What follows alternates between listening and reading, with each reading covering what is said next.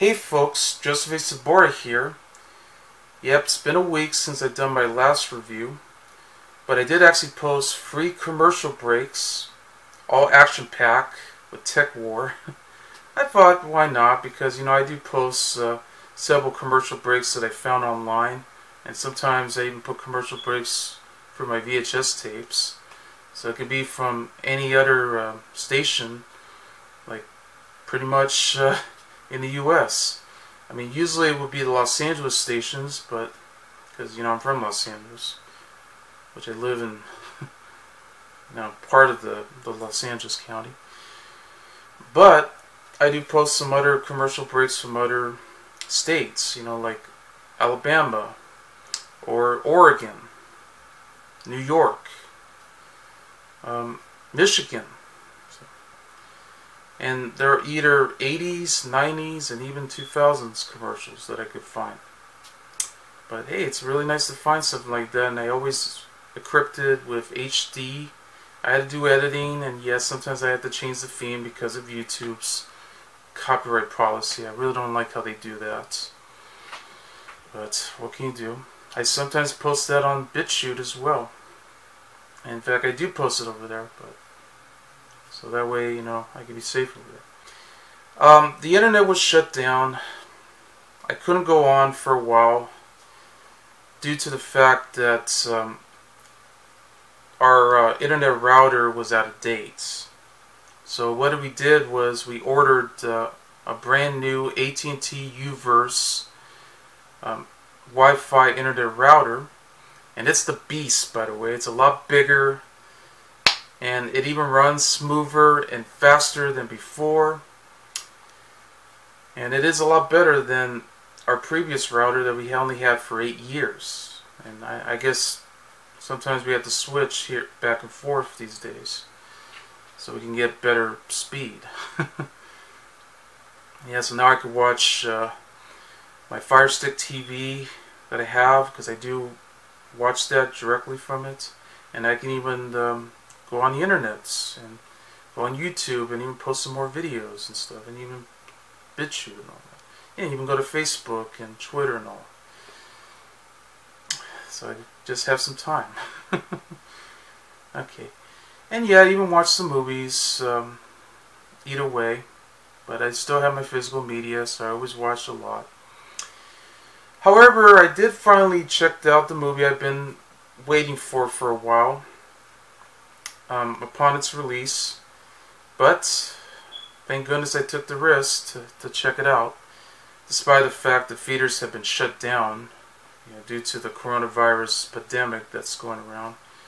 I just hope this whole thing will be over, and I'm, I'm glad I'm not sick, but I hope I don't end up getting caught by it. And I think we're going to get better. Let's hope so, because I want to stay young and healthy as I could. And uh, I mean, it's best not to panic though, okay? Because I know they've been doing this stuff. You know, they've been giving us a lot of lectures and everything. You know, they tell us to stay home. They tell us to find everything that we need. We had to go around to the stores and purchase everything we could. You know, like toilet paper, paper towels, you know, hand sanitizers, all that stuff, so we can, so that way, in case you know, we need them. Yeah, and that's that's always becoming the biggest problem of them all. So, okay, but enough said for that. Um, I did finally check out Birds of Prey and the Fantabulous Emancipation of one Harley Quinn. Yes, with Margot Robbie returns as Harley Quinn, who happens to be the notorious uh, gangster and also the love interest of the Joker. Yeah, I mean, she's even a lot crazier than the Joker per se, but she does have her actual persona. I mean, she even narrates the film, tells her point of view. Only this time she teams up with three um, characters that's part of the Birds of Prey. Uh, the Huntress, Black Canary, and Renee Montoya. Yeah. So one is the uh, the crossbow killer. The other one is a uh, burlesque singer. And the next one is the cynical detective. Um, they're joining in to save a young girl who's a pickpocket named Cassandra Cain from the evil crime lord of Gotham City. That's even worse than the Joker. Black Mask. Yeah. So, uh, as you know, I mean, Margot Robbie played Harley Quinn uh, since the movie Suicide Squad. Uh, now, for those who don't know, she's an Australian actress. She's been in films like The Wolf of Wall Street, the Martin Scorsese, the Martin Scorsese film with uh, Leo DiCaprio. Yeah, Leonardo DiCaprio. I just like to call him Leo. um, but then she went to films like um, Focus with uh, Will Smith, which, interesting enough, um, he went on to play Deadshot in Suicide Squad. So this was their second film together. um, but she's done some other work. Um, she even did the film I, Tonya. But she is definitely um, a great actress. So, so far so good. She's been doing several movies. And she just recently did uh, Once Upon a Time in Hollywood. Yeah, the recent uh, Quentin Tarantino film. So it's nice to see that she's getting a lot of a sense of work.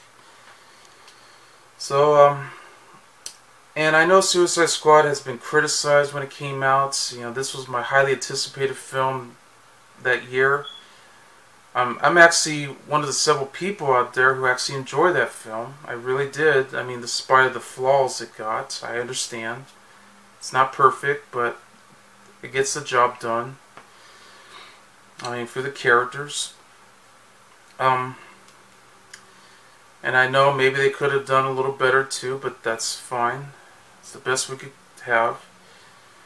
I mean, I guess because of the whole DC Marvel debates and and the fact that Rotten Tomatoes is just going way too far with criticism here. I mean, I know because of the the tomato meter percentage, but either way. It's also note to be the first R-rated film after uh, Joker for for DC's uh, well in, in for the DC extended universe though that is.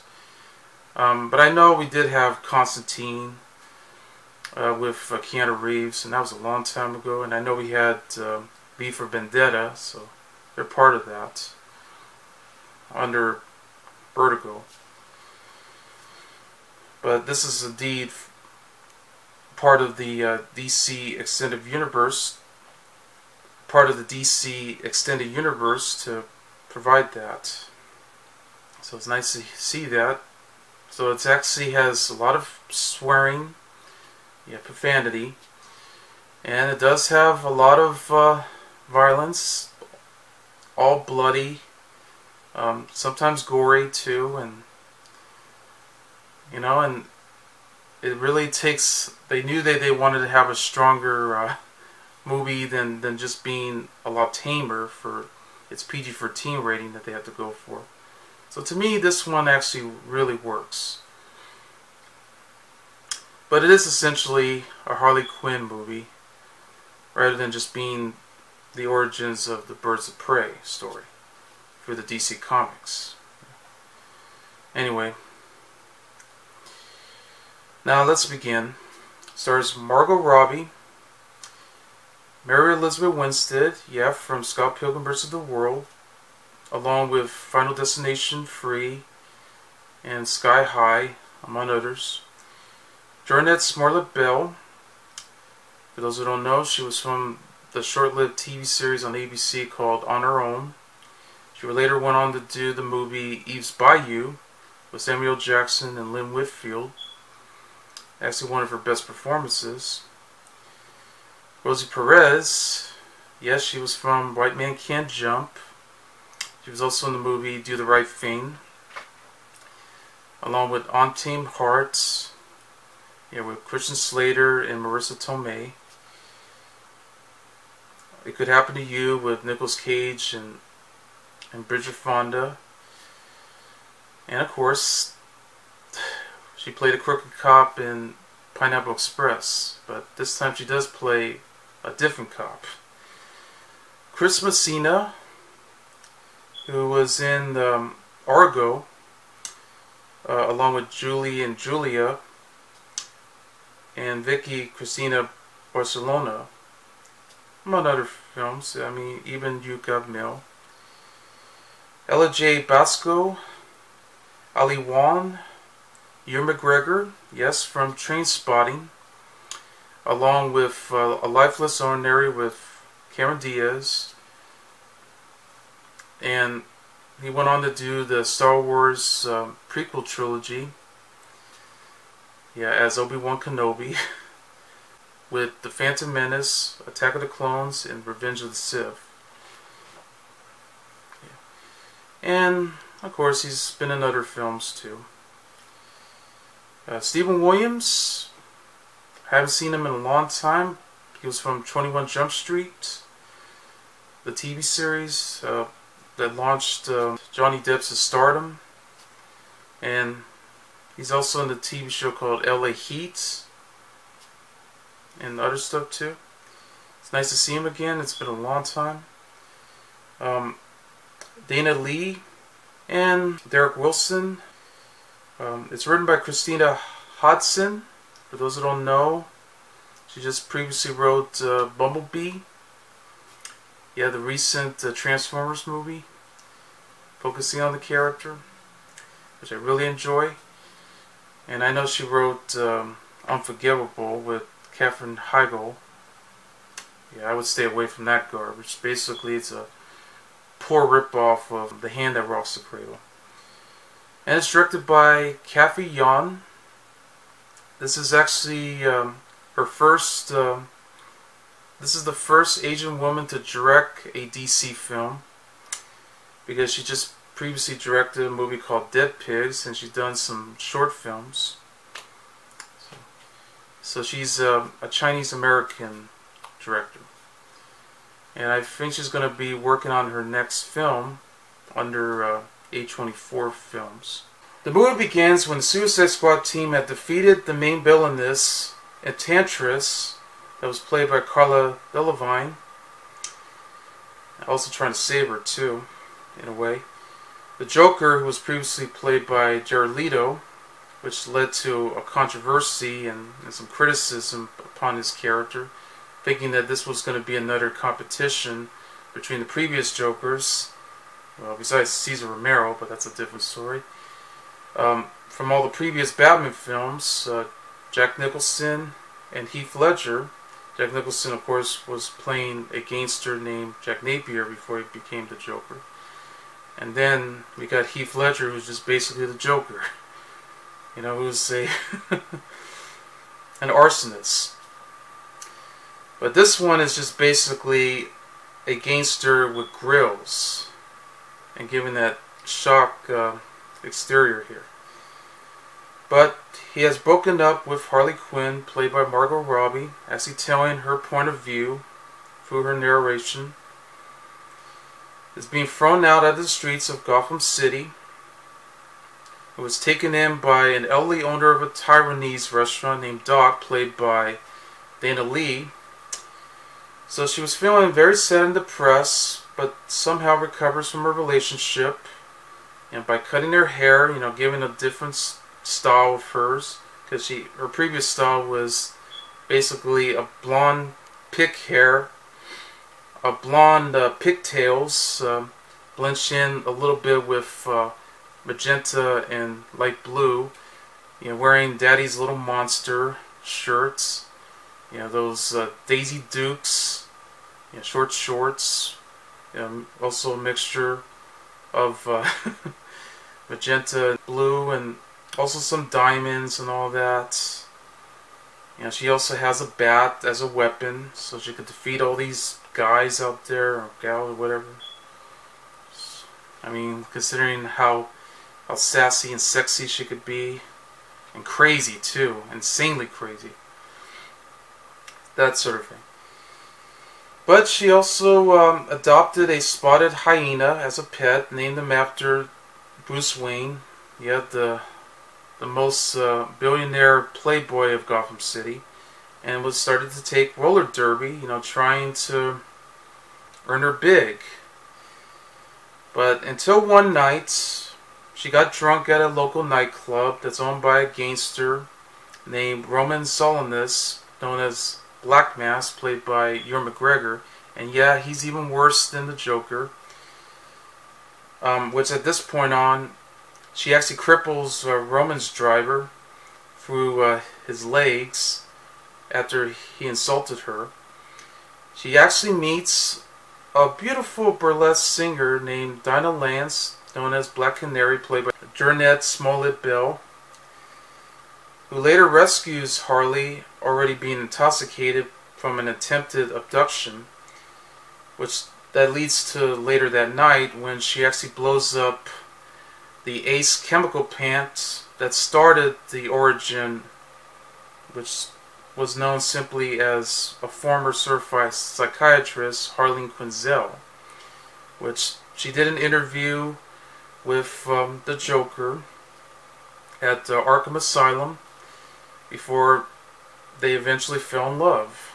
And that's where he was the one who actually took um, Harley there, you know, having to jump all the way, you know, sort of started to dive all the way down into the toxic um, waste that they put in, the toxic chemical, and that's how she changed her appearance.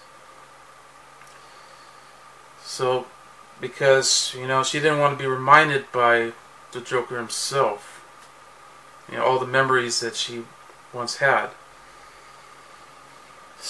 So anyway, being spotted, uh, so Roman was impressed by Donna's skills and actually appointed her as his new driver. Um, of course, already privacy announced of their breakup already with Joker and Harley, since he noticed that.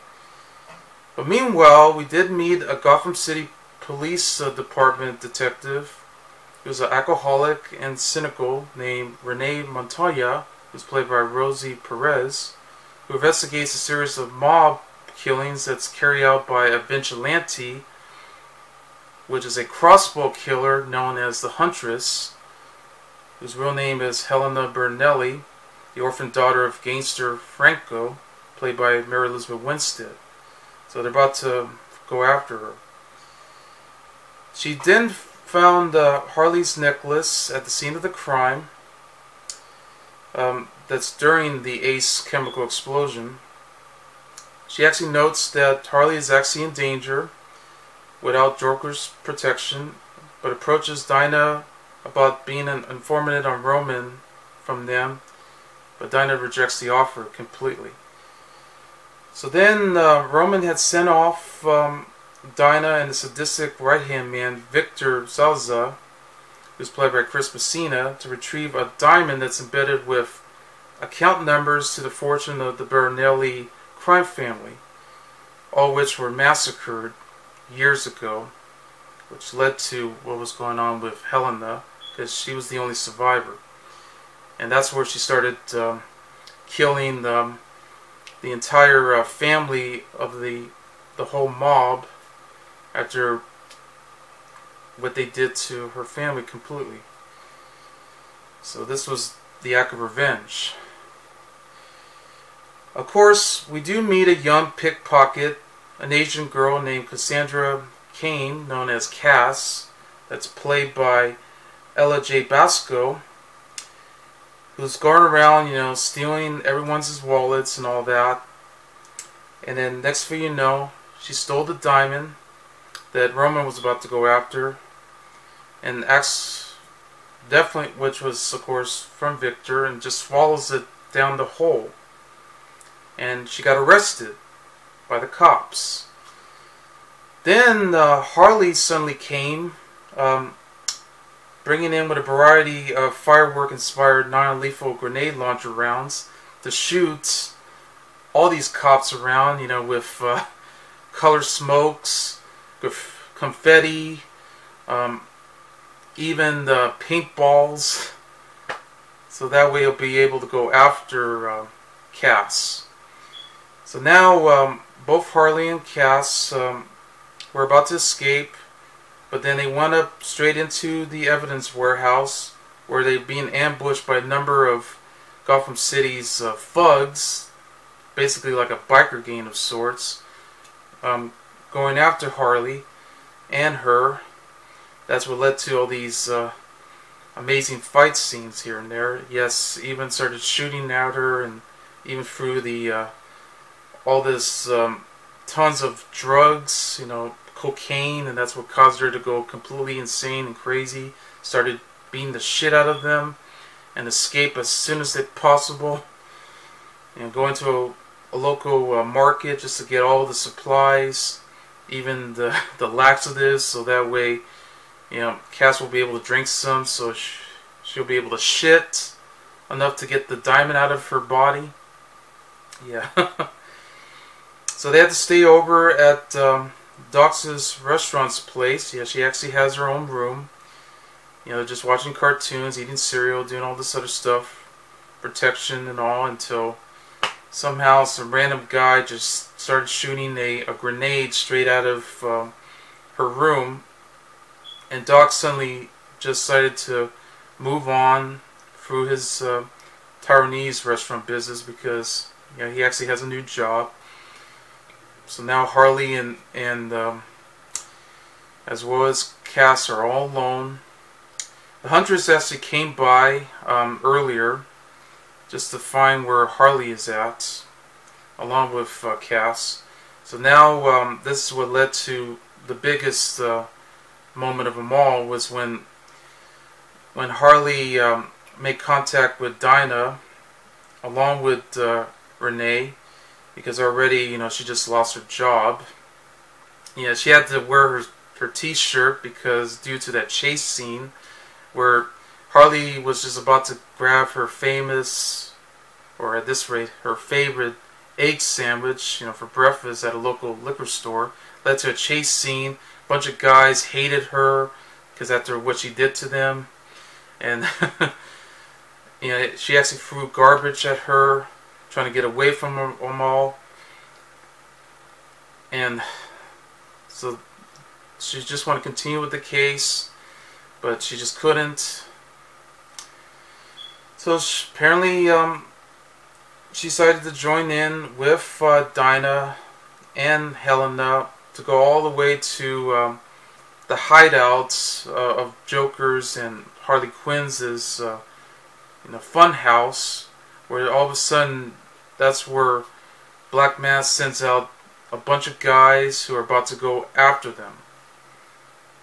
You know, not just them alone, but also because of Cass, because they just want to get the diamond. So, there you have it. um, I really enjoy it though. I mean, it's hilarious at times. Um, it, it definitely has a lot of uh, extensive uh, violence and a bit of gore here and there. Um, definitely R-rated right there lots of profanity that's put in. So it's nice to see that, yes, we're now getting another DC uh, Extended Universe R-rated. So now we're actually getting an R-rated uh, DC Extended Universe film that really uh, nails it to the punch. Uh, Margot Robbie, definitely, no doubt. I mean, she's just as sexy, sassy, funny persona that she was given for this movie, and she really nailed it. She stole the show. It's essentially her movie. I mean, she did exactly what she was going for, considering that she pretty much introduced the, the team of the Birds of Prey, which I know Birds of Prey was, was based on an actual DC comic, which actually had a short-lived TV series that aired on the WB, and I think that could have been a lot better handled there. But because actually the the short-lived TV show was was excellent on its own. I mean, it was more serious. it was had an such an amazing story that sad to say I wish the series had lasted longer. Yeah, but I guess WB was just having some tough times, you know, you know, having to focus on other shows, you know, schedule conflicts that they're going through. I mean, I guess because you know they were still they still had Buffy and and uh, Angel, and they were afraid because this show was going to take over their lineup. So that's how they moved it to the UPN. If, if that was the case. Um, but anyway, um, but this one, I, I like the cast that they chose. I mean, they got Mary Elizabeth Winstead. She's excellent as the Huntress. Um, I know they were joking around with her too, which I thought that was pretty fun.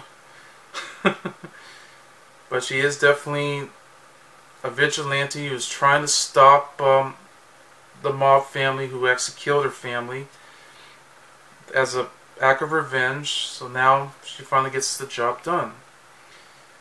Um, just shooting all these crossbow arrows at them. Then you got um, Black Canary, you know, played by uh, Jurnee Smollett Bell. She did an excellent job. I mean, there's even a very uh, particular scene which I'm not going to give away, but it's something that you're going to be so amazed when you see her. That's incredible, powerful. Incredibly powerful, but yeah, she is indeed what she is. But she can do a lot of kicks and and jumps and do everything. A lot of impressive moves. And uh, Rosie Perez playing Renee Montoya. Felt bad for her too because you know the way she's been treated, you know by um, Captain Patrick Erickson. You know, it was played by Steven Williams. I mean, apparently he wants to get all the credits, joining in with um, his uh, assistant uh, DA I mean, they, they didn't want her to be on the case. You know, they wanted her to move on through, through all of that. But, you know, she was being very cynical about it, but she just wants to continue so that way she'll be able to get her promotion and to save her own job. But that's not working out. So that sucks. Because she's she had a long case trying to go after Black Mask. Anyway, I mean, she wasn't getting along with Harley at first. That's what led to that. But now they became part of the team to join in with uh, Black Canary and the Huntress. So that's why they're called Birds of Prey. um, Ewan McGregor, on the other hand, um, yeah, he definitely um, brings in an excellent performance. He's a total narcissistic, um, brutal, and iron fist crime lord who can pretty much do anything he wants. I mean, he owns his own nightclub. He gets to bring in all the ladies and guys. He collects a lot of animal trophies in his room. I mean, wow. I mean, you can tell how sadistic he is. And that's certainly the case here. Um, and Ella Jay Basco, um, was alright as uh, Cassandra Cain. I mean, basically what she is, just a kid who just loves to go around stealing a lot of stuff. Everywhere she goes. Yeah. Basically what it is. A lot of great scenes though, here and there. I mean I love the the funhouse scene, you know, where you know Harley just brought in the mallet, just taking down all these bad guys around that are chasing them. And also some nice impressive scenes uh, you know, with Black Canary, the Huntress, and and Renee. So they're just going around, you know, beating the crap out of them, trying to save Cass from Black Mask, about to go chase after him. Um, I I love that parody where it was a take on Marilyn Monroe's um, film, which I know that's where it had the song "Diamonds Are a Girl's Best Friend." I yeah, where you just have Harley Quinn basically being Marilyn Monroe. A very nice touch here. um, trying to go as classy as they could be. And sometimes, you know, they can even go pretty uh, psychedelic in a way for its filmmaking. All done by the direction of Cathy Yan. She did an amazing job. Uh, the writing, in my opinion, I thought it was kind of top notch. I mean, she actually had through a lot of a lot of crazy, you know, wall to wall dialogue here and there that's really immensely uh, threatening, but also, again, satirical, funny. Gives it a lot of great humor and a lot of uh, incredible violence they put into it. A lot of energy. I thought it really uh, totally works for a movie that's uh, based on that particular adaptation of a DC comic, as we all know. so. But all in all, I, I really enjoyed it, and I think this was the best they could do. Uh, in fact, it's it's even better than I expected, and it's definitely worth um, the marketing, the hype, everything that went into. Definitely part of the DC extended universe that we got. And you know what? It's going to get better as it turns out. So anyway, that's Birds of Prey. And I give the movie four and a half stars. I'm Joseph A. Sobora, and I'll see you later. Bye.